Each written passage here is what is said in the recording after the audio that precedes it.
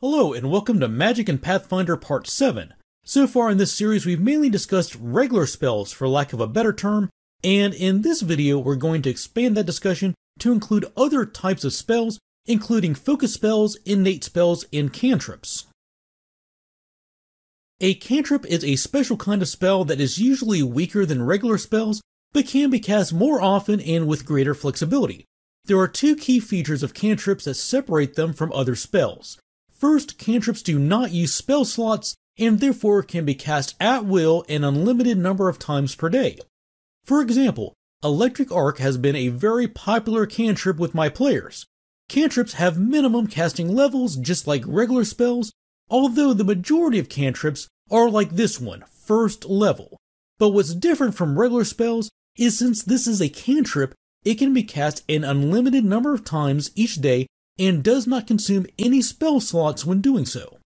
The second key feature of cantrips is that they are automatically heightened to half the caster's level rounded up. In the case of most spellcasting classes, this means you can cast your cantrips at the same level as your highest level spell slot. So if third level spells are the highest level spells you can cast, then you cast your cantrips at third level too.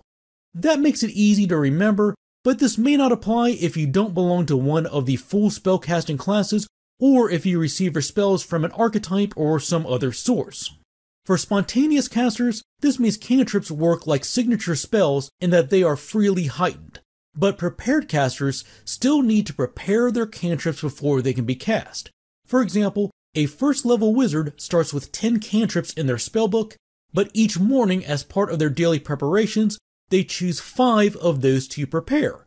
But once they're prepared, the wizard may cast those five cantrips as often as they like for the rest of the day. Focus spells are a special kind of spell and they're granted by certain class features. Just like with cantrips, they are automatically heightened to half your level rounded up and do not use spell slots when they're cast. And you cannot prepare a focus spell with a spell slot either, they don't interact with the spell slot system at all. Instead, the caster must spend a focus point to cast a focus spell. Everyone who is able to cast focus spells have at least one focus point, and some abilities increase the caster's maximum number of focus points, but there is a hard limit of three. No matter how many times your pool of focus points is increased, you can never have a maximum pool of focus points greater than three. Also be aware that you only have one focus pool, meaning if you multiclass and receive a focus point from multiple sources, they're all combined into one pool of resources. You don't have to track that you got two focus points from your witch class and you got one more from multiclassing into champion. Instead, you have a single pool of three focus points that can be spent however you like on the focus spells that you have available from all the different sources. These points are fully replenished as part of your daily preparations, just like spell slots are, but a major benefit of focus spells is you don't have to wait until the next morning to get them back. The refocus exploration activity can be used to regain a spent focus point. This takes 10 minutes, after which you regain one focus point, but there is an interesting requirement listed here. It says you have a focus pool, and you have spent at least one focus point since you last regained any focus points. The key there is the last bit that says, since you last regained any focus points. So you have to spend focus points before you can refocus and get one of them back. What this means is if you have a focus pool of three points and use all three of them in an encounter, you cannot refocus three times and get all three of them back.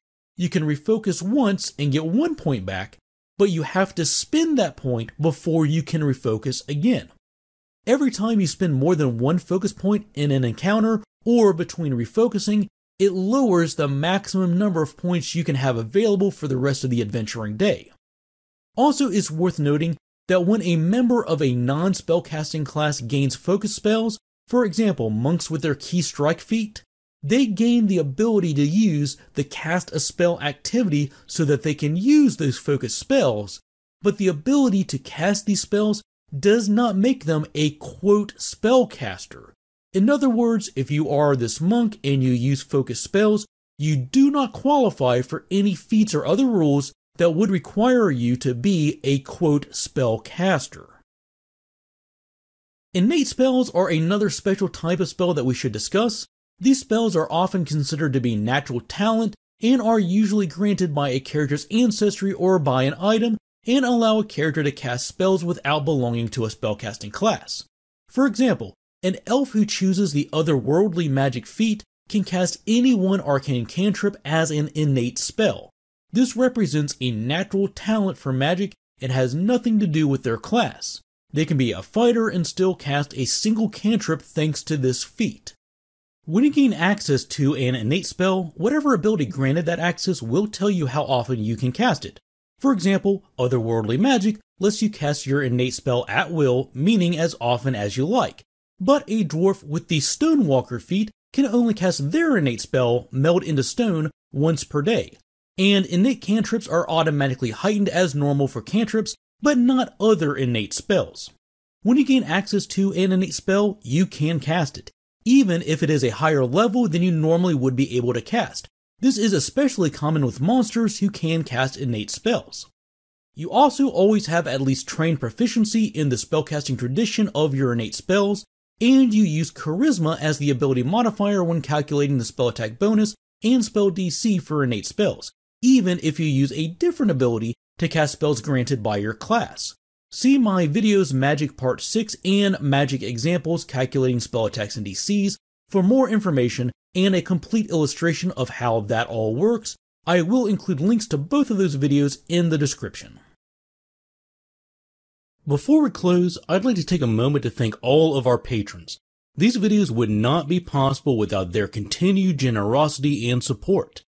Members of the Basics for Gamers Patreon community receive special benefits, like getting to vote on the topics that we cover in the future, and also they get to see these videos one week and ad free before everybody else. Visit the link shown on the left of the screen and in the description if you'd like to know more about becoming a patron. If you would like to support this channel and help it grow, the easiest way to do that is by subscribing and clicking the bell icon so you get notified when new videos release and we can always be reached through our Twitter and Facebook pages too. Thanks for watching, take care, and we will see you soon with more basics of Pathfinder.